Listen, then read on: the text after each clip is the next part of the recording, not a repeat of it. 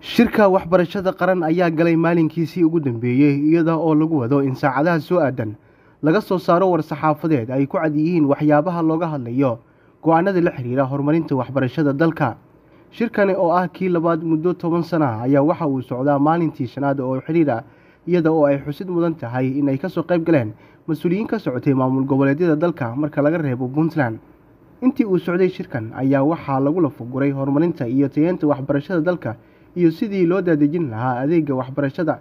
Qaar ka mid a dadkii ka soo qayb galay shirka ayaa ka hadlay habsami socodka shirkan.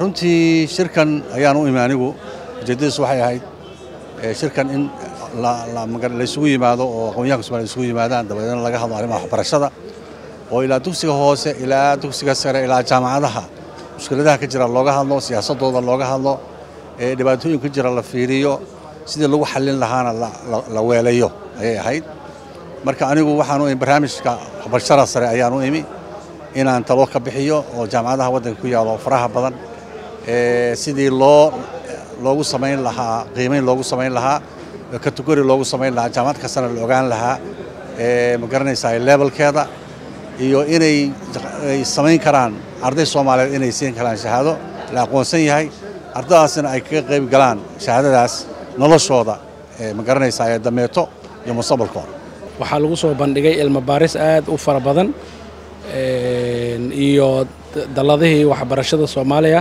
meel kasta ay joogaan in lagu casuumay. Sidoo kale waxaan aad u bogaadinayaa wasiirka wasaaradda farac cabdiqaadir iyo wasiir dowlaha iyo wasiir ku-xigeenka. Sida wanaagsan ay ugu dhiirideen shaqada fiican ay qabteen in wasiiradii oo ka horreeyey wasaaraddaas oo dhan lagu casuumo ay ka soo qayb galaan ee talooyinkooda la dhegaysto iyo waxyaabihii oo markaas wasaaradda ay horay ugu qabteen iyo waxyaabihii ay hiigsinayeen inay u sheegaan talooyinkaas. Runtii waa shir aad iyo aad loogu baahan yahay dhallinyarta soomaaliyeed. Maanta waxa oo aad iyo aad u anfacayo waa waxbarashada wax loo yaqaano. Yacnii laba qodob ayaa muhiim u ahaa. Qodob waa qodob haddii oo saddex kun oo arday saddex kun oo macallimiin oo la qaatay. Saddexdaas kun oo macallimiinta la qaadanaya insha allahu tacaala waxaan rajaynaynaa iyadana wax weyn ay ku soo kordhiso iyo qodob kale oo ahaa yacni macallimiintaas iyo iskuulaadkii ay ku shaqayn lahaayeen iyo waxeeda iyadana in loo diyaariyo oo iskuulaad badan oo awal bareefad ahaa ay noqon doonaan iskuulaad loo yaqaano yacni iskuulaad oo public ah ayaan rajaynaynaa. Muhiimadda koobaad waxay tahay haddee waxaa laga hadlaya waa waxbarasho. Waxbarashadu waa qaran dhisidda aas-aas bay u tahay waxbarashadu. Haddii aan dadka wax la barin no way to go. Meel loo socon kara ma jirto. Dhakhtarku wuxuu u baahan inaad wax soo bartid injineerku wuxuu u baahan wax la soo baro. Macallinku wuxuu u baahan wax la soo baro. Sargaalku wuxuu u baahan wax la soo baro. Siyaasigu wuxuu u baahan wax la soo baro. Marka markaan ka hadlayno waxbarashada waxaan ka hadlaynaa arrin unlimited ah ama oo endless oo aan dhammaanayn.